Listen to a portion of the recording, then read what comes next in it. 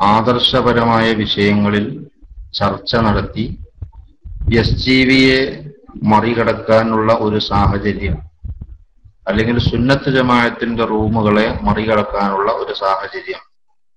ഇന്ന് ഒരു മുജാഹിദിനോ ജമായത്തിനോ അല്ലെങ്കിൽ വേറെ ഒരു റൂമുണ്ടല്ലോ. ഏ? ഈ കൊടുങ്ങല്ലൂര് ഭരണി പാടുന്ന അങ്ങനെയുള്ള റൂമുകൾക്ക് ഒന്നും സാധിക്കൂല. നമുക്ക് അടിസ്ഥാനപരമായി സുന്നത്ത് ജമാഅത്തിന്റെ ആശയങ്ങൾ പഠിപ്പിക്കുകയും അത് ശ്രോതാക്കളെ ബോധ്യപ്പെടുത്തുകയും ചെയ്യുക എന്നതാണ് നമ്മുടെ ലക്ഷ്യം.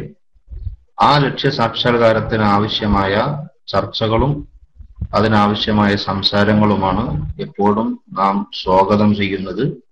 അതുകൊണ്ട് ഒരു നല്ല ചർച്ച നടക്കേണ്ട സമയം അനാവശ്യ വിവാദങ്ങളിലേക്കോ വിഷയങ്ങളിലേക്കോ നമ്മുടെ വിലപ്പെട്ട സമയം കൊണ്ടുപോയി അത് നഷ്ടപ്പെടുത്തരുത് എന്ന് എല്ലാ ദിവസവും പറയുന്നത് പോലെ ഇന്നും ആമുഖമായി എല്ലാ പ്രിയപ്പെട്ട സുഹൃത്തുക്കളെയും ഓർമ്മപ്പെടുത്തുകയാണ്. നമുക്ക് ഇന്ന് നമുക്കൊരു നല്ല വിഷയം വേറൊന്ന് പറയേണ്ടതുണ്ട്.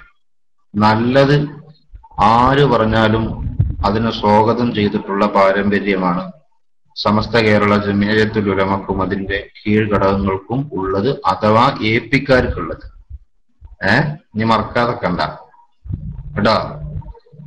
പിന്നെ എ പിക്കാർക്കുള്ളത് ആ വിഷയമാണ് അപ്പൊ ഇന്ന് വളരെ മനോഹരമായ ഒരു വിഷയം. ഞാനത് മുഴുവനായി കേട്ടിട്ടില്ല സങ്കടം എന്ന് പറയട്ടെ.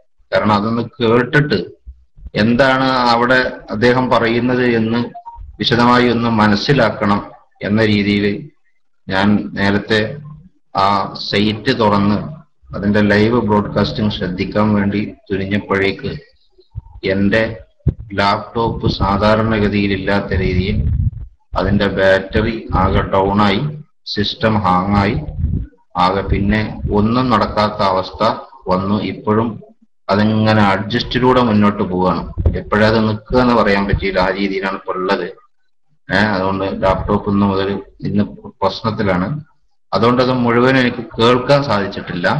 ഏഹ് അപ്പൊ ഇനി ഇൻഷാ അള്ളാ നമുക്ക് പിന്നെ അതിന്റെ റിപ്പോർട്ടുകൾ പലതും കിട്ടിയിട്ടുണ്ട്. അതിന്റെ റെക്കോർഡുകൾ പലരും എടുത്തു വെച്ചിട്ടുണ്ട്. മാത്രമല്ല അത് പലരുടെ കയ്യിലും അതിന്റെ റെക്കോർഡുകൾ ഉള്ളതിന്റെ പുറമെ നേരിട്ട് അദ്ദേഹം എന്തൊക്കെയാണ് പറഞ്ഞത് എന്ന് അതത് സമയത്ത് കേട്ട ആളുകളും ഉണ്ടാവും. നമ്മുടെ സിറാജ് ലൈവിലടക്കം അതിന്റെ റിപ്പോർട്ട് വരികയും ചെയ്തിട്ടുണ്ട്. ആ സിറാജ് ലൈവിലെ റിപ്പോർട്ട് വായിച്ചതനുസരിച്ച് മാത്രമാണ് ഞാനിപ്പോൾ ഒന്ന് രണ്ട് കാര്യങ്ങൾ പറയുന്നത്.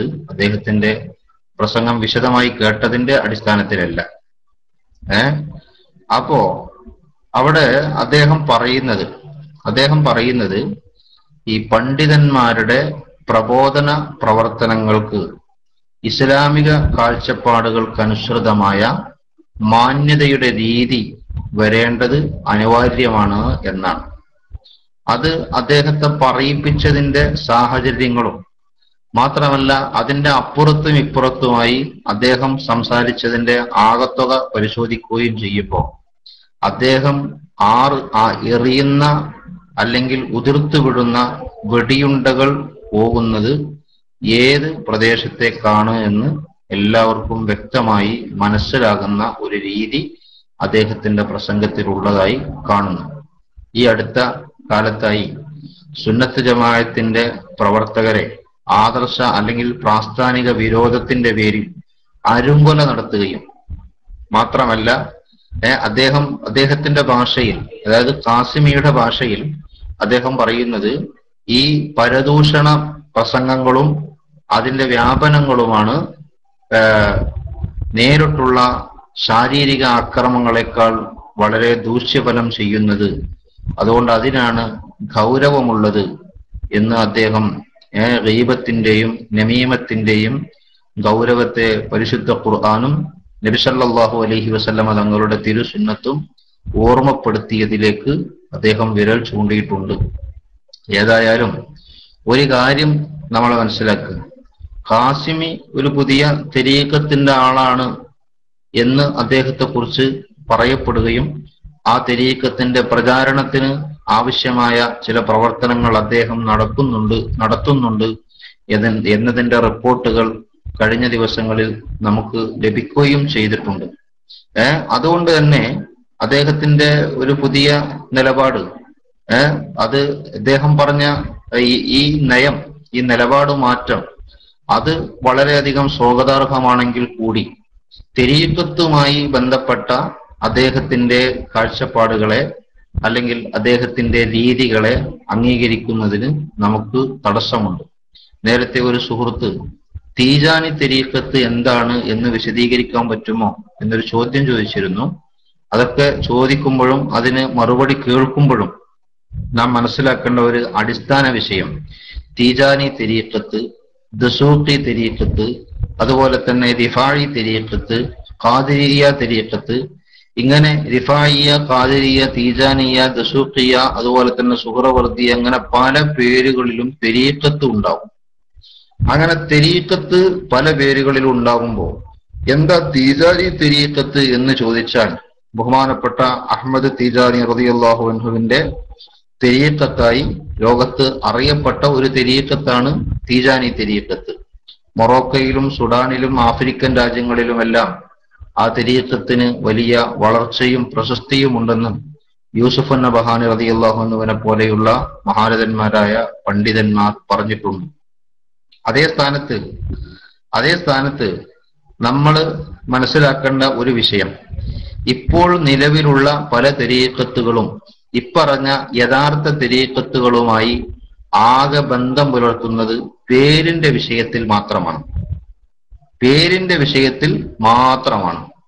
കാരണം തീജാനി തെരീക്കത്ത് എന്ന് പേരിടുമ്പോ അതുപോലെ തന്നെ റിഫാഴി തെരീക്കത്ത് എന്ന് പേരിടുമ്പോ ഖാദിരിയ തിരീക്കത്ത് എന്ന് പേരിടുമ്പോ ആ പേരിലൂടെ ആളുകളെ ആകർഷിക്കാനും തെരീക്കത്ത് വിപണനം ശക്തിപ്പെടുത്താനും സാധിക്കുമെന്ന കാഴ്ചപ്പാടിൽ നിന്നാണ് ഒരു പുതിയ പേരിലേക്ക് പോകാതെ ഏറെ മൂല്യവും വീര്യവുമുള്ള പഴയതിന്റെ പേര് സ്വീകരിച്ചുകൊണ്ട് പുതിയ ചില ആശയങ്ങൾ ജനങ്ങൾക്കിടയിൽ പ്രചരിപ്പിക്കാൻ ചില തെരീക്കത്തിന്റെ മേധാവികൾ ശ്രദ്ധിച്ചുകൊണ്ടിരിക്കുന്നത്. നമ്മൾ എപ്പോഴും മനസ്സിലാക്കേണ്ട ഒരു കാര്യം തീജാനി തെരീക്കത്ത് എന്താണെന്ന് ചോദിച്ചാൽ അതിന് കിട്ടുന്ന ഉത്തരത്തിൽ നിന്ന് സത്യത്തിൽ ഇന്ന് ഇവിടെ വരുന്ന ആ തെരീക്കത്തിനെ പറ്റിയാണ് പറഞ്ഞത് എന്ന് വിലയിരുത്തുന്നത് ശരിയല്ല. അല്ലെങ്കിൽ തീജാനി തെരീക്കത്ത് എന്താണെന്ന് ചോദിക്കുമ്പോൾ അതിന്റെ മറുപടിയിൽ ഇന്ന് തീജാനി തെരീക്കത്താണ് എന്ന പേരിൽ പ്രചരിപ്പിച്ചുകൊണ്ടിരിക്കുന്ന തെരീക്കത്തിനെ അതിനെ വിമർശിക്കപ്പെടുന്ന ഭാഗങ്ങൾ അതിന്റെ ഉത്തരമായി അവതരിപ്പിച്ചാൽ യഥാർത്ഥ തീജാനി തെരീക്കത്ത് അതാണ് എന്ന് തെറ്റിദ്ധരിക്കുന്നതും ശരിയല്ല. ബഹുമാനപ്പെട്ട അഹമ്മദ് തീജാനി റതിയല്ലാഹുവിനുവിന്റെ ആ തെരീക്കത്ത് അത് പ്രശസ്തമായതും മുസ്ലിം ലോകം അംഗീകരിച്ചതും പണ്ഡിതന്മാരുടെ അംഗീകാരമുള്ളതുമായ തെരീക്കത്താണ്. അപ്പൊ അത്തെരീക്കത്തിന്റെ പേരിൽ പുതിയത് പലതും പലയിടത്തും ചെയ്തുകൊണ്ടിരിക്കുന്നു. ഇപ്പോൾ ആലുവയിൽ ഒരു തെരീക്കത്ത് ഉണ്ടായിട്ടുണ്ട്. ആ തെരീക്കത്ത് ജീലാനി തെരീക്കത്ത് എന്ന പേരിലാണ് അറിയപ്പെടുന്നത് ജീലാനി എന്ന് പറഞ്ഞാൽ ബഹുമാനപ്പെട്ട ആലം മഹിയുദ്ദീൻ അബ്ദുൽ ഖാദിർ ജീലാനി ഏഹ്, അവരുടെ പേരാണല്ലോ. ആ ബഹുമാനപ്പെട്ടവരിലേക്ക് ചേർത്ത് പറയുന്ന അവരുടെ നാടിലേക്ക് ചേർത്ത് പറയുന്ന ആ പേരിനെ ബഹുമാനപ്പെട്ടവരുടെ നാടിനെ ചേർത്ത് സൂചിപ്പിക്കുന്നത് ആ നാടിനെയല്ല ആ വ്യക്തിയെയാണ്. ആ മഹാനായ ഷെയ്ഖ് ജീലാനി തങ്ങളെ സൂചിപ്പിച്ചുകൊണ്ട് അവരിലേക്ക് ചേർത്ത് ചില തെരീക്കത്തുകളെ അവതരിപ്പിക്കുകയും ആ തെരീക്കത്തുകളിലൂടെ പുതിയ ചില ആശയങ്ങളും വാദങ്ങളും അല്ലെങ്കിൽ പുതിയ ഒരു ആൾക്കൂട്ടത്തെ സൃഷ്ടിക്കാൻ ആവശ്യമായ ജാലവിദ്യകളും മറ്റുമൊക്കെ നമ്മുടെ ലോകത്ത് അല്ലെങ്കിൽ നമ്മുടെ നാട്ടിൽ പ്രചരിപ്പിക്കുകയാണ് പുതിയ തിരിയക്കത്തുകാരിൽ പലരും ചെയ്തുകൊണ്ടിരിക്കുന്നത്. സമസ്ത കേരള ജമ്യത്തുലമയുടെ മഹാന്മാരായ പണ്ഡിതന്മാരെല്ലാവരും ആ തെരീക്കത്ത് വ്യാജമാണ് അതിൽ മുസ്ലിമീങ്ങൾ വഞ്ചിതരാകാൻ പാടില്ല എന്ന് പറഞ്ഞ് കണിശമായ രീതിയിൽ അതിനെതിരെ രംഗത്ത് വന്ന സമയത്ത് ഇവർ ഈ സമസ്ത കേരള ജമിയത്തുലമയുടെ ആരിമീങ്ങളുടെ ഈ തീരുമാനത്തെ മറികടക്കാൻ കണ്ടുപിടിച്ച സൂത്രം അതീവ രസാവഹമാണ്. അതെന്താ? സമസ്ത കേരള ജമിയത്തുലമയുടെ ആലിമീങ്ങൾ തെരീക്കത്തിനെ കുറിച്ച് അങ്ങനെ പറയുന്നുണ്ടെങ്കിൽ നമ്മളൊരു കാര്യം ചെയ്യുക നമ്മളൊരു പണ്ഡിത സഭ രൂപീകരിക്കുക എന്ന് പറഞ്ഞിട്ട് ഇപ്പോ അത്തരീക്കത്തുകാര് ഒരു പണ്ഡിത സഭ രൂപീകരിച്ചിരിക്കുകയാണ്.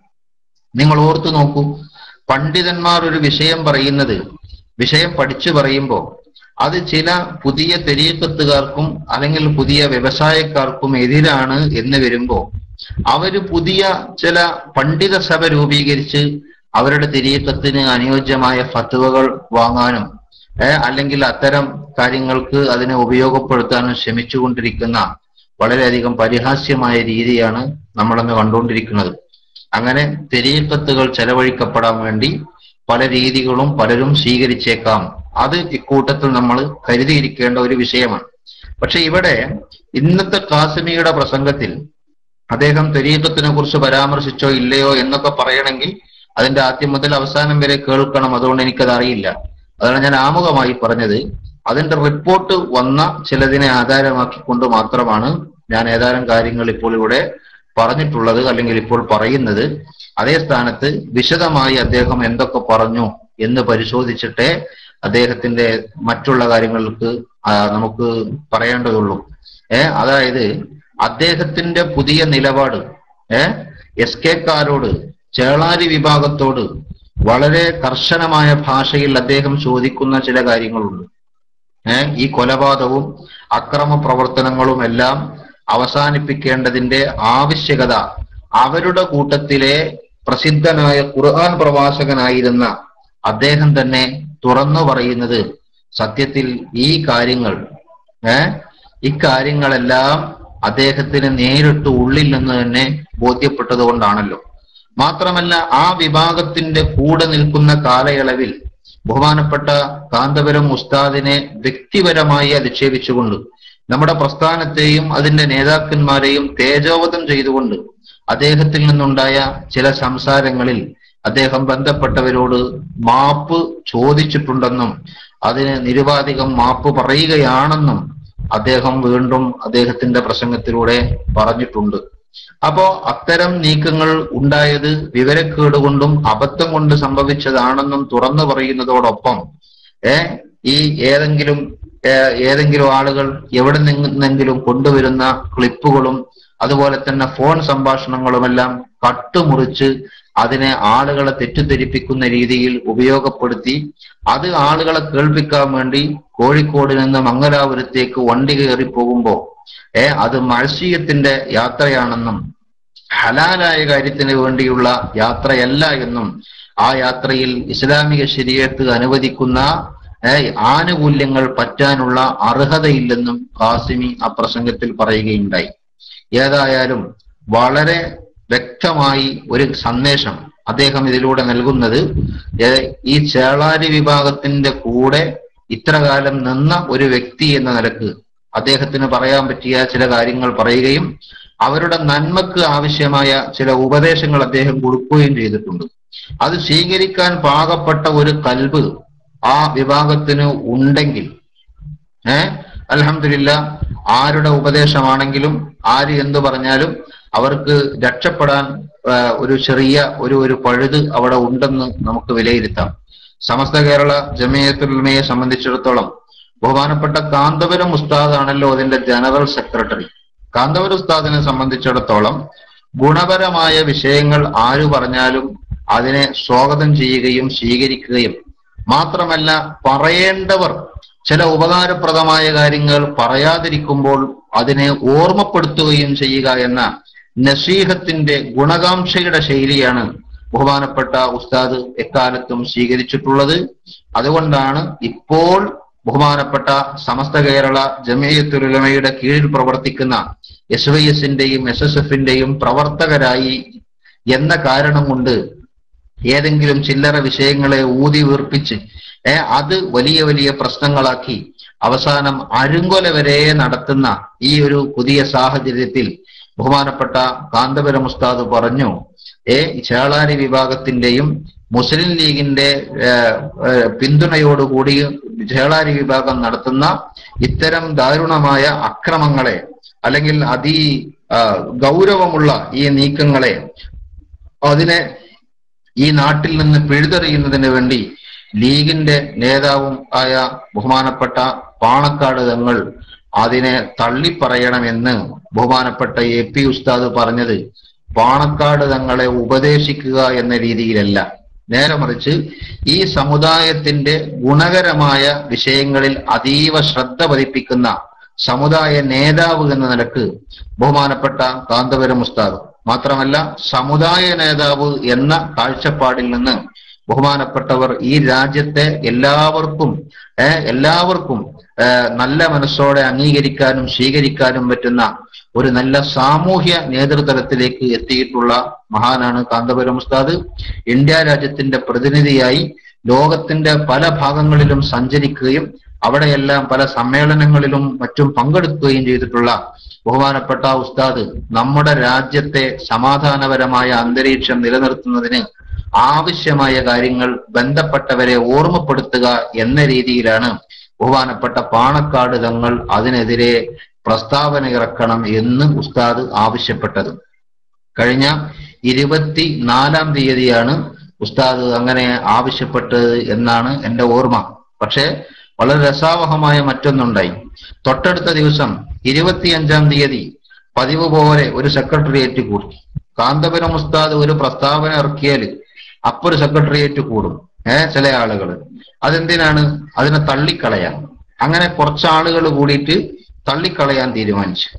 മാത്രമല്ല അവർ പറഞ്ഞത് പാണക്കാട് ഹൈദരലി ശിഹാബ് തങ്ങൾക്ക് കാന്തപുരത്തിന്റെ ഉപദേശം ആവശ്യമില്ല എന്നാണ്. പാണക്കാട് ഹൈദരലി ശിഹാബ് തങ്ങൾക്ക് കാന്തപുരത്തിന്റെ ഉപദേശം ആവശ്യമില്ല എന്ന് പറഞ്ഞുകൊണ്ട് എസ് കെ കുട്ടികൾ ബഹുമാനപ്പെട്ട കാന്തവിൻ ഉസ്താദിന്റെ പ്രഭാഷണത്തെ അല്ലെങ്കിൽ ഉസ്താദിന്റെ പ്രസ്താവനയെ പരിഹസിക്കാൻ തിരിഞ്ഞു. പക്ഷെ തൊട്ടടുത്ത ദിവസം ഇരുപത്തിയാറാം തീയതി ഉസ്താദ് ആവശ്യപ്പെട്ടതുപോലെ തന്നെ അത്തരം അക്രമ സംഭവങ്ങളെ തള്ളിപ്പറഞ്ഞുകൊണ്ട് ബഹുമാനപ്പെട്ട പാണക്കാട് ഹൈദരലി ശിഹാബ് തങ്ങൾ പ്രസ്താവന ഇറക്കുകയും ചെയ്തു. ഇവിടെ എന്താ നമുക്ക് മനസ്സിലാകുന്നത്? നമ്മുടെ രാജ്യത്ത് നമ്മുടെ നാട്ടിൽ ഐക്യവും സമാധാനവും കെട്ടിപ്പടുക്കുന്നതിന് ആവശ്യമായ കാര്യങ്ങളെ ഈ സമുദായത്തിന്റെ നേതാക്കൾ ചിന്തിക്കുകയും അതിനാവശ്യമായ നടപടികൾ അവർ സ്വീകരിക്കുകയും ചെയ്യുന്നുണ്ട്. കാന്തപുരം ഉസ്താദ് എല്ലാ കാര്യങ്ങളെയും നേരത്തെ നോക്കിക്കാണുകയും വളരെ ദീർഘദൃഷ്ടിയോടെ വിഷയങ്ങളെ കൈകാര്യം ചെയ്യാൻ ശ്രമിക്കുകയും ചെയ്യുന്നതിന്റെ ഭാഗമായി നമ്മുടെ രാജ്യത്ത് സമാധാനം ഉണ്ടാകണമെങ്കിൽ നമ്മുടെ നാട്ടിൽ നല്ല അന്തരീക്ഷം ഉണ്ടാകണമെങ്കിൽ അവിടെ എന്ത് ചെയ്യണം? ബഹുമാനപ്പെട്ട പാണക്കാട് തങ്ങൾ ആ ഇങ്ങനെ ഒരു രീതി ഇത്തരം അക്രമങ്ങളെ തള്ളിപ്പറയുന്ന രീതി ഇതിനെ കുറക്കാനും ആളുകളുടെ മനസ്സിനെ ബോധവൽക്കരിക്കാനും ഉപകരിക്കുമെന്നും ബഹുമാനപ്പെട്ട ഉസ്താദ് നിരീക്ഷിക്കുകയും നമ്മുടെ നാട്ടിലെ സമാധാന അന്തരീക്ഷത്തിന് ഉപകാരപ്രദമായ അത്തരമൊരു നീക്കം ബഹുമാനപ്പെട്ട തങ്ങളിൽ നിന്നുണ്ടാകുന്നത് ഗുണകരമാണ് എന്ന് ഓർമ്മപ്പെടുത്തുകയും ചെയ്യുകയാണ് ഉസ്താദ് ചെയ്തിട്ടുള്ളത്. അത് ഉസ്താദിന്റെ ഒരു കടമ എന്ന നിലയ്ക്ക് ഉസ്താദ് നിർവഹിക്കുകയാണ് ചെയ്തത്. ഉസ്താദിന്റെ ആ പ്രസ്താവന വന്നപ്പോ ബഹുമാനപ്പെട്ട കാന്തപുരം ഉസ്താദിന്റെ ആ പ്രസ്താവനയിൽ ഏഹ് എസ്കക്കാരെ പോലെ എന്ത് പറഞ്ഞാലും അത് കാന്തപുരം പറഞ്ഞു എന്ന കാരണം കൊണ്ട് എതിർക്കുന്ന പാരമ്പര്യമല്ലല്ലോ ബഹുമാനപ്പെട്ട സയ്യിദന്മാർക്കുണ്ടാകുക. അതുകൊണ്ട് തന്നെ പാണക്കാട് ഹൈദരലി ശിഹാബ് തങ്ങൾ ഉസ്താദിന്റെ ആ പ്രസ്താവനയെ മുഖവിലക്കെടുക്കുകയും നമ്മുടെ നാട്ടിൽ സമാധാനം ഉണ്ടാകുന്നതിന് എന്റെ ഒരു വാക്ക് കാരണമാകുകയാണെങ്കിൽ അത് കാരണമാകട്ടെ എന്ന നിലയ്ക്ക് ബഹുമാനപ്പെട്ട സയ്യിദ് അവർകൾ ആവശ്യമായത് അവിടെ ഇത്തരം അക്രമ സംഭവങ്ങൾ ഉണ്ടാകാൻ പാടില്ല എന്നും ഉണ്ടായതിൽ ഖേദം പ്രകടിപ്പിച്ചുകൊണ്ടുള്ള പ്രസ്താവനയും ബഹുമാനപ്പെട്ട തങ്ങൾ ഇറക്കുകയും ചെയ്തു. ഈ തങ്ങളുടെ ആളാണെന്ന് പറയുകയും അല്ലെങ്കിൽ തങ്ങൾ നേതൃത്വം നൽകുന്ന രാഷ്ട്രീയ പാർട്ടി ഞങ്ങളെ കൂടെയാണ് അല്ലെങ്കിൽ ആ പാർട്ടിയുടെ കൂടെയാണ് ഞങ്ങളെന്ന് പറയുകയും പാണക്കാട് കുടുംബം ഞങ്ങൾക്ക് വിലപ്പെട്ടതാണെന്ന് പറയുകയും ചെയ്യുന്ന ചില എസ് കെ ഗ്രൂപ്പുകാരെന്ന് പറയുന്ന കുറച്ച് കുട്ടികൾ. അങ്ങനെ തന്നെ വേണം അവരെ കുറിച്ച് പറയാൻ. ആ കുട്ടികൾ ഇവിടുത്തെ വലിയ നേതാക്കന്മാരായ കാന്തപുരം ഉസ്താദിന്റെ പ്രസ്താവനയും മറ്റൊരു നേതാവായ ഹൈദരലി ശിഹാബ് തങ്ങളുടെ പ്രസ്താവനയും ആ രണ്ട് പ്രസ്താവനയും വന്നപ്പോ ആ രണ്ട് പ്രസ്താവനയും വന്നപ്പോ ഏ? ആദ്യ എ പി ഉസ്താദിന്റെ പ്രസ്താവന അക്രമങ്ങൾക്കെതിരെ നിശിതമായ ഭാഷയിൽ പ്രതിഷേധം അറിയിച്ചുകൊണ്ടും അതിനെതിരെ മുന്നറിയിപ്പ് നൽകിക്കൊണ്ടും ഉസ്താദിന്റെയും അതുപോലെ തന്നെ നമ്മുടെ നേതൃത്വത്തിന്റെയും പ്രസ്താവന വന്നു. മാത്രമല്ല അതുകൊണ്ട് മാത്രം ഇവിടെ പ്രശ്നങ്ങൾ ഒതുങ്ങിത്തീരൂല. ഇവിടെ സമാധാനം ഉണ്ടാകണമെങ്കിൽ പാണക്കാട് തങ്ങൾ കൂടി ഈ വിഷയത്തിൽ പ്രസ്താവനകൾ ഇറക്കുകയും അക്രമങ്ങളെ തള്ളിപ്പറയുകയും ചെയ്യുന്ന നിലപാട് ഉണ്ടാകണമെന്ന് ബഹുമാനപ്പെട്ട എ പി ഉസ്താദ് ആവശ്യപ്പെടുകയും ചെയ്തപ്പോ ബഹുമാനപ്പെട്ട പാണക്കാട് തങ്ങളുടെ പ്രസ്താവനയും വന്നു. പക്ഷെ ഈ രണ്ട് നേതാക്കന്മാരുടെ പ്രസ്താവനകൾക്കിടയിലും പാണക്കാട് തങ്ങൾക്ക് കാന്തപുരത്തിന്റെ ഉപദേശം ആവശ്യമില്ല എന്ന രീതിയിൽ ബഹുമാനപ്പെട്ട കാന്തപുരം ഉസ്താദ് ആവശ്യപ്പെട്ടത് പാണക്കാട് തങ്ങളെ ചെറുതാക്കലാണ് അല്ലെങ്കിൽ ചെറുതാക്കാൻ വേണ്ടിയാണ് എന്ന് തോന്നിപ്പിക്കുന്ന വിധം ഒരു പ്രസ്താവന ഇറക്കുകയും മാത്രമല്ല അതിനെ തള്ളിക്കളയുന്ന വിധം ഏർ അത് അവതരിപ്പിക്കുകയും ചെയ്ത എസ് കെ വിഭാഗം അവസാനം എളിപ്പരായി. ഇവിടെ സമാധാനത്തിനാണ് മുൻതൂക്കം. ഇവിടെ സമാധാനപരമായ ജീവിത സാഹചര്യം ഉണ്ടാക്കുന്നതിനാണ് ഈ ഉമ്മത്തിന്റെ നേതാക്കന്മാർ ഏറ്റവും അധികം ശ്രദ്ധ പതിപ്പിക്കേണ്ടത് എന്ന വിഷയത്തിൽ നമ്മുടെ നമ്മളെ സംബന്ധിച്ചിടത്തോളം നമ്മുടെ നേതാക്കന്മാർക്ക് രണ്ടഭിപ്രായമില്ല. അതുകൊണ്ട് തന്നെ ഇവിടെ സമാധാനം ഉണ്ടാകണം. ഇവിടെ ശാന്തി ഉണ്ടാകണം. അക്രമങ്ങൾ ഉണ്ടാകാൻ പാടില്ല. നേരത്തെ കണ്ണൂര് എന്ന് കേൾക്കുമ്പോൾ നമ്മുടെ നാട്ടിൽ പേടിച്ചിരുന്ന കുറെ ആളുകൾ ഉണ്ടായിരുന്നു. അവിടെ അക്രമ രാഷ്ട്രീയത്തിന്റെ കുരുതിക്കളമായി ഏ നമ്മുടെ കേരളത്തിന്റെ വടക്കേ ഭാഗമായ കണ്ണൂര് ജില്ല മാറിയപ്പോ എല്ലാവരും വളരെയധികം നീരസത്തോടെ വളരെ പ്രയാസത്തോടെയാണ് അത്തരം സംഭവങ്ങളെ അന്ന് കാണുകയും കേൾക്കുകയും എല്ലാം ചെയ്തിരുന്നത്.